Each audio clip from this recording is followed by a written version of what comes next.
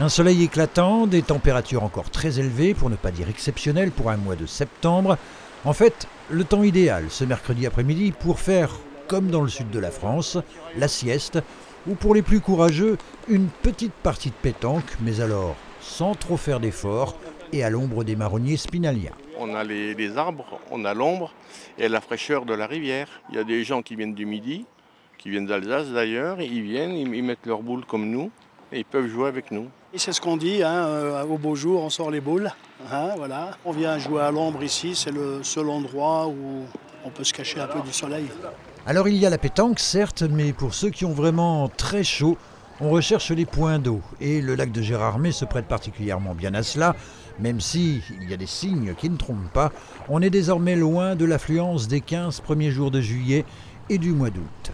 Il n'y a quand même plus autant de monde que cet été, on est en septembre, notre clientèle est différente, c'est plus des gens plus zen, plus cool, les retraités, euh, les gens qui ont le temps, les commerçants aussi, euh, ceux qui n'ont pas d'enfants en général, qui peuvent prendre leurs vacances en septembre. Donc on a moins de monde, mais on peut les accueillir dans de meilleures qualités, puisqu'il fait beau, on a plus de temps à leur accorder, donc euh, c'est jackpot pour tout le monde, c'est aussi bien pour eux que pour nous.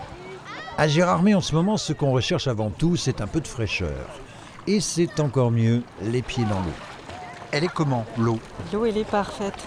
On est venu euh, justement avant 14h pour profiter de la fraîcheur parce qu'à Gérardmer, c'est pas comme, euh, comme ailleurs. On en profite un petit peu. hein. Bah oui, il fait beau.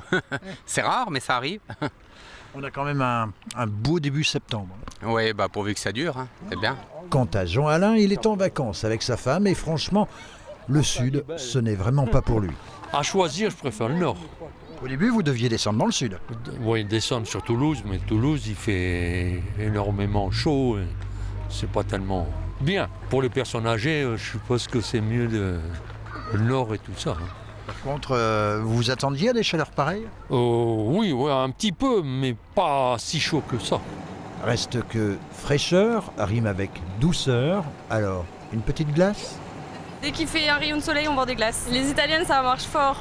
Bah, nous, on fait vanille fraise en ce moment. Et en grosse saison, on rajoute euh, un autre parfum. Et puis, on a aussi tout ce qui est glace en boule et euh, les glaces toutes faites. euh, toutes les glaces. Ce temps chaud et ensoleillé devrait persister encore quelques jours, les spécialistes météo nous annonçant le retour des orages pour mardi.